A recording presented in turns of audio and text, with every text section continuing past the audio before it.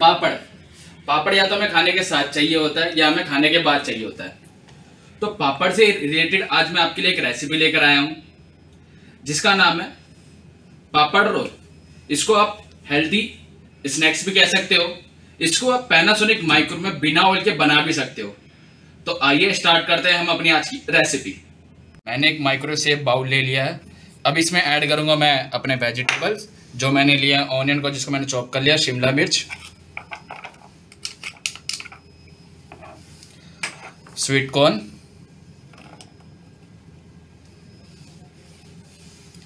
आलू जिनको बॉईल करके मैंने मैश कर लिया था।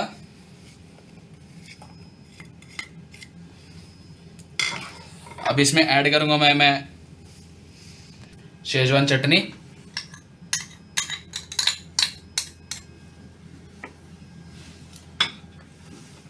और ऐड करूँगा मैं इसमें मैगी मसाला। और ब्लैक पेपर पाउडर और नमक स्वाद अनुसार।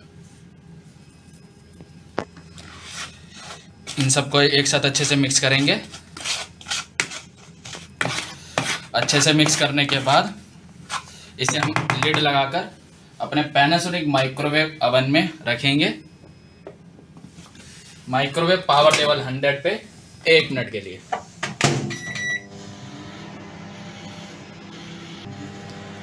तो हमने जो पैनासोनिक माइक्रोवेव अवन में जो टाइम दिया था, वो हो चुका है कंप्लीट अब इसे हम बाहर निकालेंगे.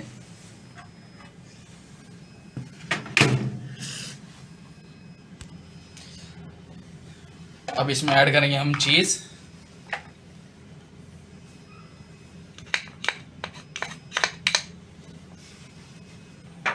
और इसको करेंगे अच्छे से मिक्स इसको अच्छे से मिक्स करने के बाद अब इसे लिड लगाकर थोड़ी देर साइड में रख देंगे। तब तक हम पापड़ भिगो लेंगे अपने। मैंने एक बाउल में थोड़ा सा पानी ले लिया।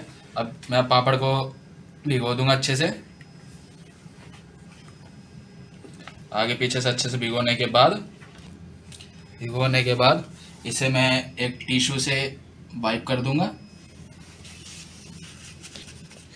जिससे कि जो एक्स्ट्रा वाटर वो हट जाएगा।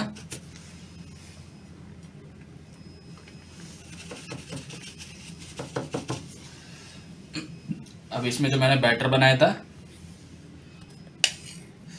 इसमें फिल जो मैंने बनाया था वो ऐड करूँगा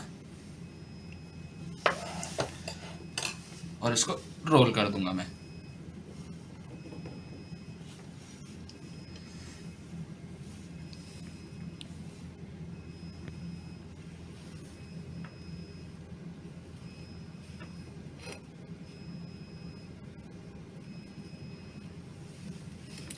ऐसे ही आपको और भी रोल तैयार कर लेने हैं, जितने आपको बनाने हैं। रोल बना लिए अब इसे मैं पैनासोनिक माइक्रोवेव अवन में रखूँगा।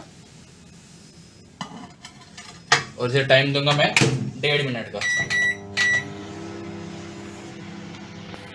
तो देख सकते हैं, जो हमने पैनासोनिक माइक्रो में टाइम दिया था, वो हो चुका कंप्लीट अब इसे हम बाहर निकालेंगे।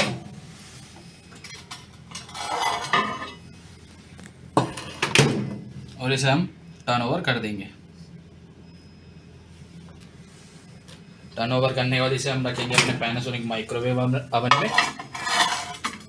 और इसे देंगे तीस सेकंड का टाइम तो देख सकते हैं जो हमने पैनासोनिक माइक्रोवेव में टाइम दिया था, वो हो चुका है कंप्लीट और आपके लिए हेल्थी पापड़ रोल बन के हो चुके हैं, तैयार स्नैक्स के तौर पर भी। देख सकते हैं आप आराम से।